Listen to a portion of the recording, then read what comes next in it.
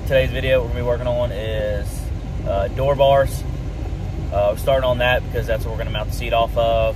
So we're gonna get that going. Kind of jump right into it. Uh, trying to do a little better time lapse to speed them up a little bit faster, but I wanted y'all to see the entire process. Um, and a few little tips and tricks in this video. I'm gonna try and incorporate a little bit uh, more of that. These are doesn't mean it's the best way. Doesn't mean it's probably even the right way. It's just what works best for me. Maybe it'll help you too. So there you go.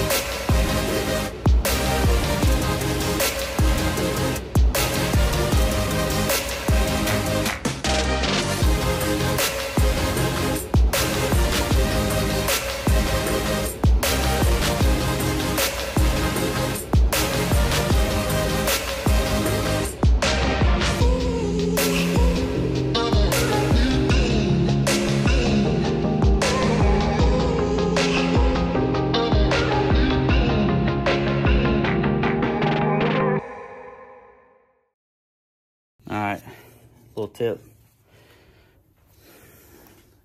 I see we're doing the, the door bars now, the X-Brace. I showed y'all that I use this cheap little angle finder from uh, Amazon. Just tighten up the little screws and it'll work good. So I use the pipe to find my angle, which I've already done. So I'm not gonna go through that. I just wanna show you what the cool thing about this uh, Buildco guillotine notcher. I'm gonna show y'all how I do this. So bear with me. This is the flat surface, okay? Where the where the pipe clamps, okay? And this is the flat surface that the uh, the bit is attached to. Let's see here if I can show you the plate. Okay, so all I do is I make sure that it sits flat up against that plate and the, the guillotine here. And that's how I get my angles. So it works super easy and you have everything you need. So there's much nicer tools, much more expensive and stuff like that, but we are on a budget. People do this all the time. A lot of people build some of the best cars in the world and not even on a table. They do that stuff on the ground and still works great. So having expensive fancy tools is nice, but it's not the end of the world. So like I said, I just want to show y'all, this is the Build Buildco. This is what I use.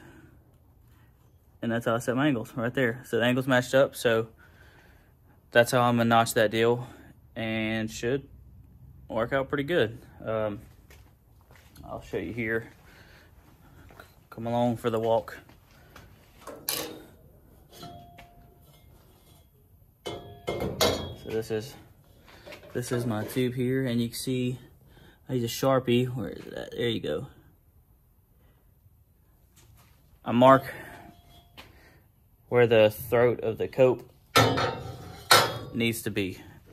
That's just a rough estimate of where it should be.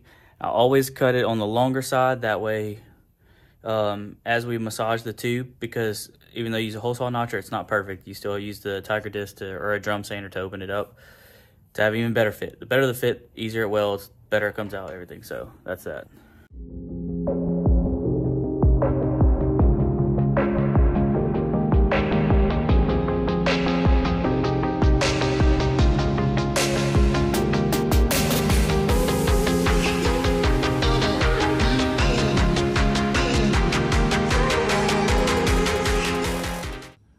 So this is the pipe for the other side of the X brace here. This does not have to be the same size as this. This bar has to be inch and five eighths. This can be inch and a half, okay? Depending on what material you're using, is depending on the thickness. Um, so as y'all just saw, oh, let me flip it the right way. We cut this bar, we measured it. It fits great. This is about what I want. Now, since you already, this is the last cut. I started with this one, and then I, I did the intersect point. This angle right here we can keep set up. We can keep set up for this other bar here because if you flip it and reverse it,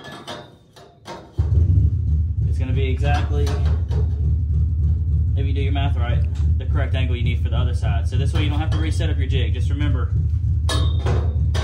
I start with the dash bar side and the intersect point is my last cut because I can turn around and my second piece, I can keep the same angle and cut it and fit for this.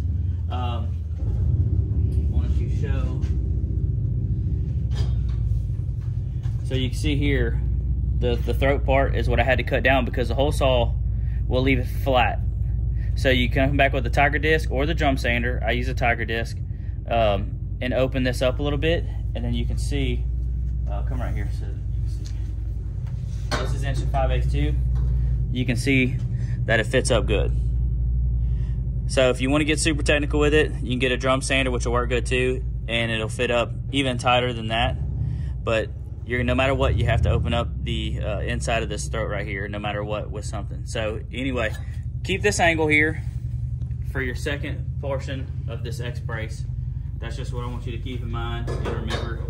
Um, and it's gonna cut down time because otherwise I'm gonna take a measurement for the main hoop side. I'm gonna move the notcher set up, move the angle, have to cut it, and then come right back to the same angle anyway. So this will save us probably about 10, 15 minutes right there. And I can go ahead and start with this angle on this next piece right here. So just a little quick tip might help y'all.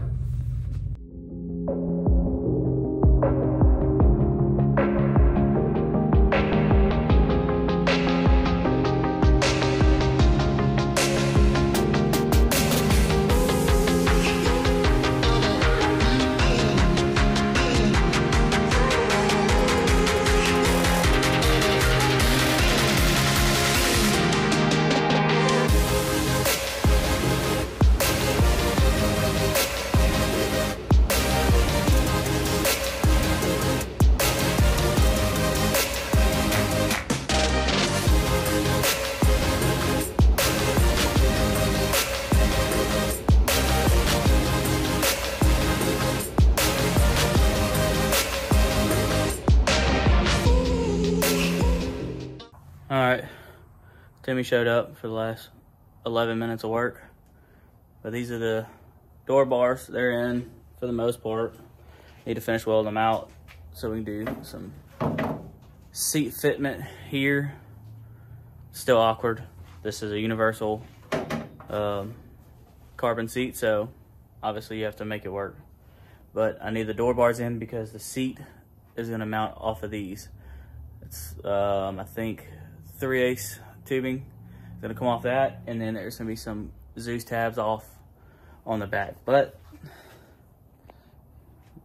you get the idea. You can you can drop these bars down a little bit to give you a little bit more room to get in and out, but this is the safest in my opinion, and that's what I'm after. So we're gonna keep trucking, try and get seat mounted, I think, and then we can do the bars for the back of the funny car stuff. But yeah, there we are. Not bad. What do you think, Timmy?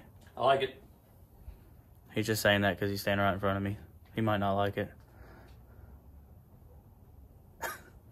All right, that's where I'm gonna stop for this evening.